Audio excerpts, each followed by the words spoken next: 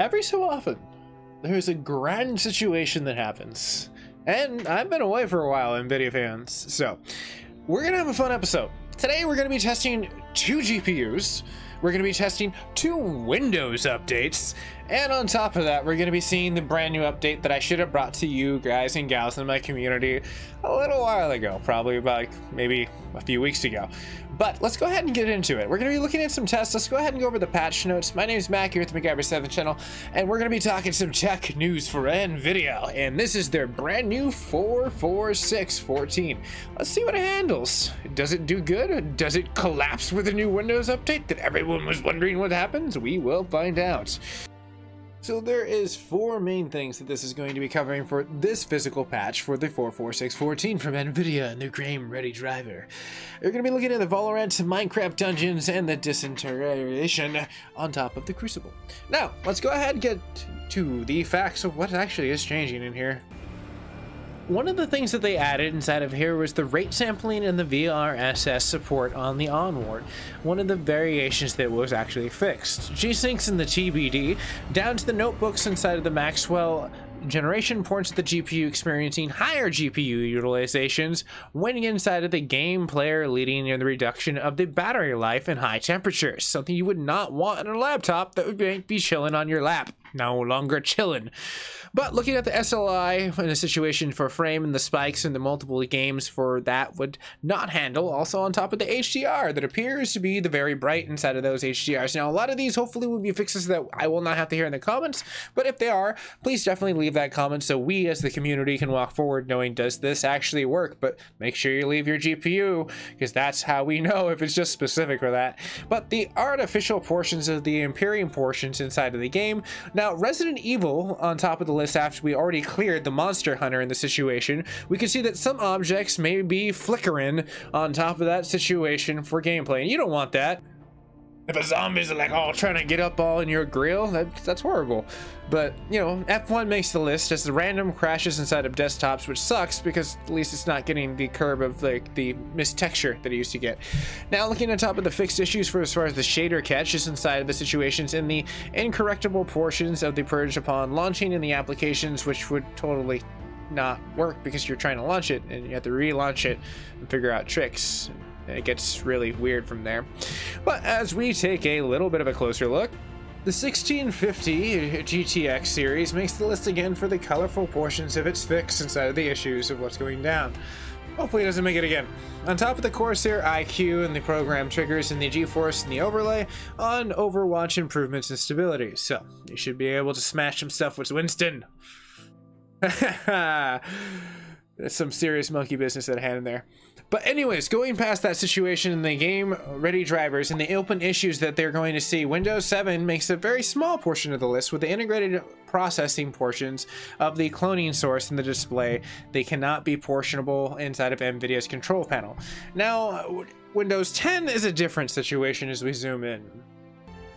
And you can see this is a huge list down from HDCP errors when validating inside of the VR, down to Call of Duty when inside of the color banding and the situations and image sharpening on top of the notebook and the cloning and the integration where we already kind of had the already list. So they kind of fixed something but didn't really fix it, which means it's open on certain applicationable portions of laptops. Shouldn't even listed that it fixed.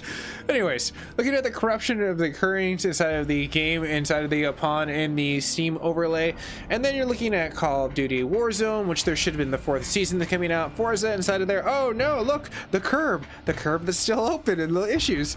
And the zombie army on top of that for the freestyle. Tom Clancy also making the list when inside looking at the situation of the Vulkan and the G-Syncs when you can very clearly see the workaround is the API. Just lower it. It sucks. They've not fixed that. But that brings us to some scores. We're going to start off with our 2080 Ti. Does it fare well with the new driver implication? It does, actually. If you look at the difference between Windows and what it's doing, if you have tensor cores and it's working, this is actually, unfortunately, the one that we are going to be seeing for the update with current 2004. But 2004 is not that bad. I am not talking crap about this update. Actually, so far it seems kind of stable. But when you see a little bit of a, change, it's not that bad. You see what I'm saying? Like honestly, for me, I, am gonna be completely happy with that situation for as far as the way that we can get into the, I guess, enjoyment of seeing that there's a very nominal. The new Windows update, it seems like it functions really well with the uh, Intel applications and running um, tests a little bit more over the AMD. So it seems like they probably have to tune it out because that's more of a niche network and growing. I'm not saying it's not, it's not there. The, the, the heart of the CPU is getting bigger in that situation. So I honestly, I, I think 204 or 2004 versus the 1909 oh my gosh it's so much better. Feels a little bit like linux actually tiny bit. And i know very little about linux and it just made me vibe about it.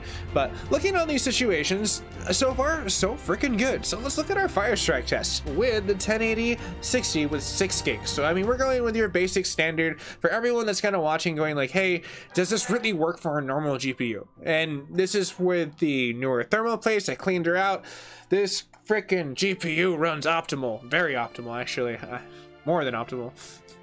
So first out the gate, we're looking at a normal score from the old school driver. And I'm, not going to go too much into the old school driver because I kind of thought the old school driver was trash and um, the stability of the newer one is actually pretty good. I, I kind of like it. So I, I, recommend it to my community. Check it out. The 1060 worked really, really good.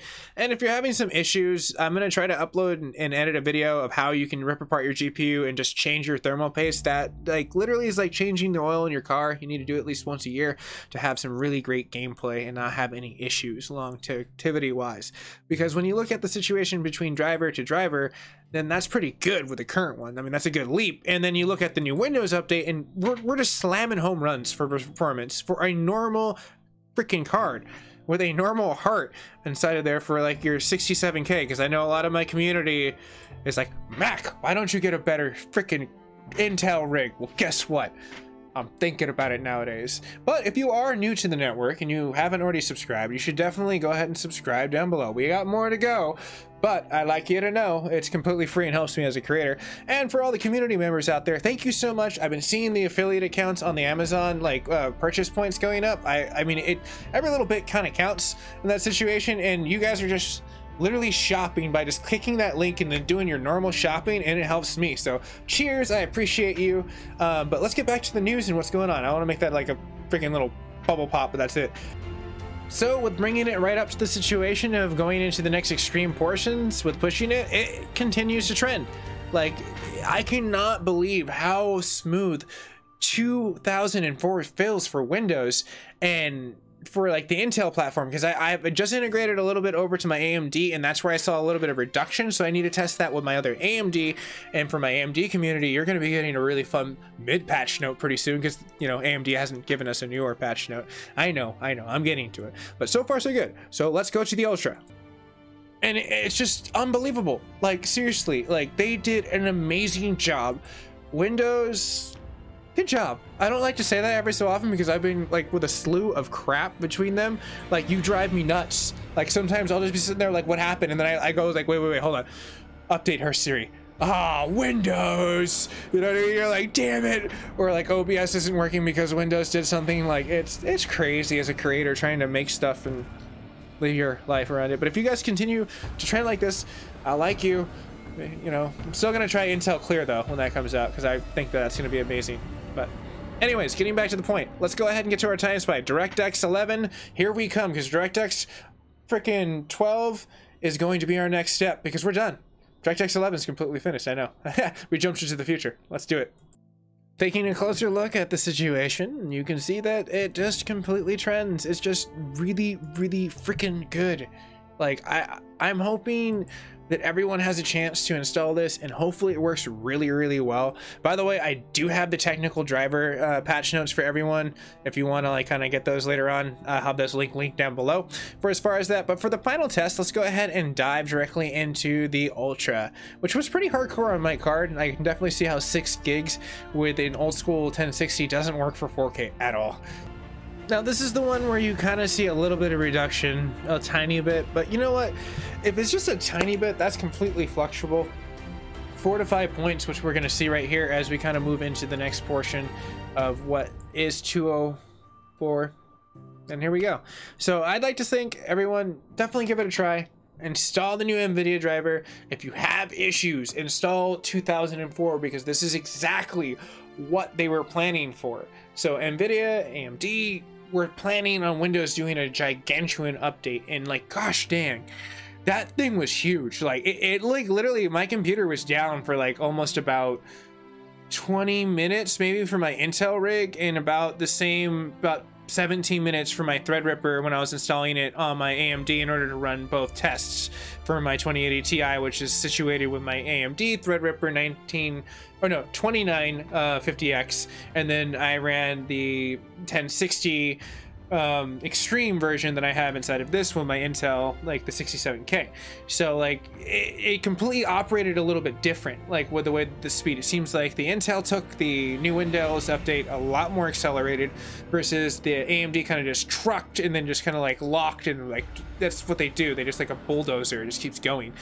Um, but yeah, I like to think that these are really beautiful updates. Um, I'm really interested to hear what the community has to say down below.